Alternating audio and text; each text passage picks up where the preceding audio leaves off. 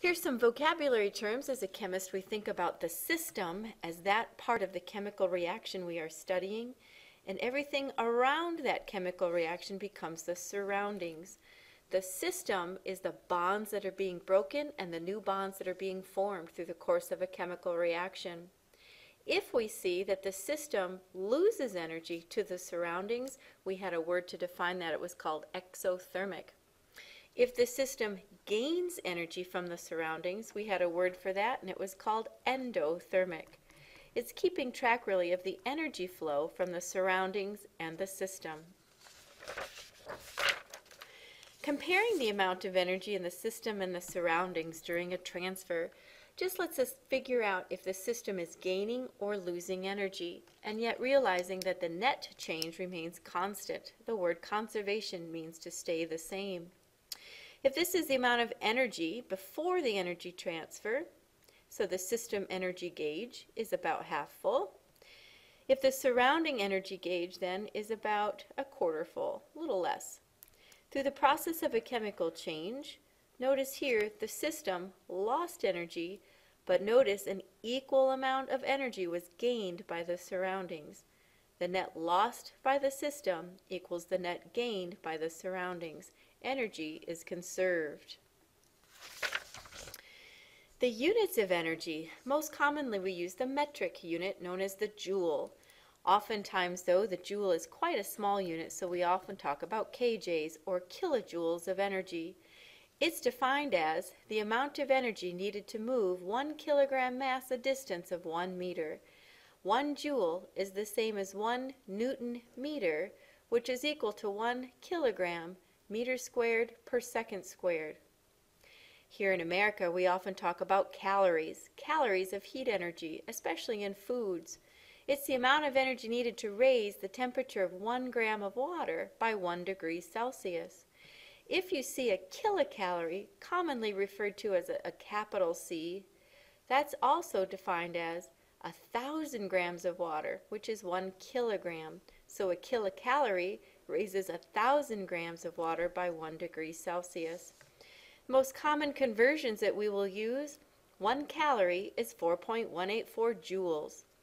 One calorie with a C, notice that's a thousand calories with a small c, is a kilocal or 4,184 uh, 1,184 joules.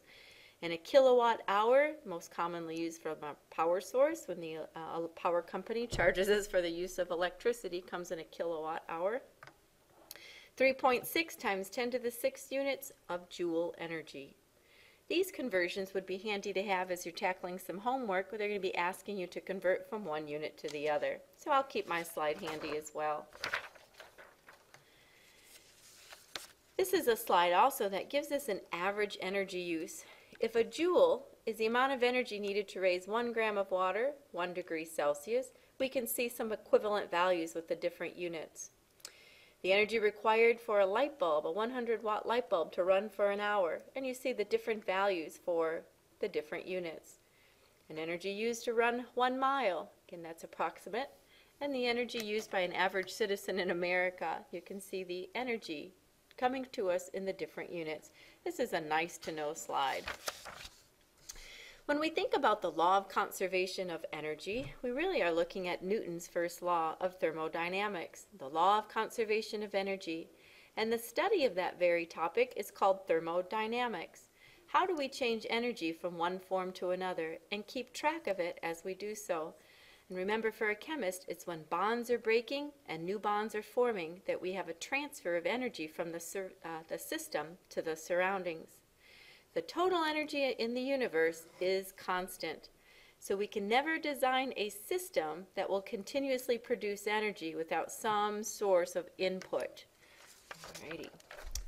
So energy flow and conservation of energy simply is taking a look at, again, if this is a gauge of the amount of energy the system begins with and the amount of energy of surroundings begins with, Take a look if the gauge is showing that the system lost, the surroundings gained. And we just simply talked that that was an equal amount, the net constant. I'll get the hang of switching this, I think. I'm turning them the opposite direction of what I need to. I apologize. So the term heat is the exchange of thermal energy from the systems to the surroundings. The system is the chemistry, the bonds that are involved in a, a, chemical change, and the surroundings are us. And remember, that's where our thermometer is in our little calorimetry experiments. The thermometer is in the surroundings. Temperature is the measure of heat flow, and that's usually in a degree Celsius, although in the gas laws temperature, we also use the Kelvin scale. Heat flows from matter, from warmer to cooler object. Heat is a form of energy. Temperature is a scale, and again, usually degrees Celsius is that measurement for that scale. Heat is an energy typically measured in joules or kilojoules. The quantity of heat energy absorbed is defined as the heat capacity. When a system absorbs heat, its temperature increases. The increase in temperature is directly proportional to the amount of heat absorbed. The word heat capacity really is a proportionality constant. If I think about heat capacity, how much energy does it take to warm up an object? If I have a small amount of water or a whole lake full of water, how much energy is it going to take to raise this one degree versus an entire lake? The larger the heat capacity of the object being studied, the smaller the temperature rise for a given amount of heat. Water takes an incredible, incredible amount of heat energy to warm it up. Compare that to a metal, for instance. Copper or iron metal warms up very quickly with the temperature. The factors that affect heat capacity include, of course, what the object is made of and how much of the object you're measuring out. So the heat capacity depends on how much of the sample you have. 200 grams of water requires twice as much heat to raise its temperature as would 100 grams of water, that direct proportionality constant. It also depends on the type of material you're using. A thousand joules of heat energy will raise the temperature of sand by 12 degrees, but the same amount of water only gets warmed by 2.4. Water has a much higher heat capacity than sand. How much energy it takes to raise a whole object by 1 degree Celsius. However, if we think about the term specific heat capacity, we narrow it down to a per gram. Heat capacity is an intrinsic ability. It does not depend on how much you have because it makes the race fair. It says for every one gram, how much energy is needed to raise that object by one degree Celsius. The term specific heat puts it in a per gram basis. The previous slide, that heat capacity, how much energy for the entire object to raise by one degree Celsius. Specific heat we see gets the symbol C, or sometimes I see it CS or CP for constant pressure or the constant system, uh, specific heat capacity. And the units for that is joules per gram degrees Celsius. How much energy does it take to raise one gram of an object by one degree Celsius?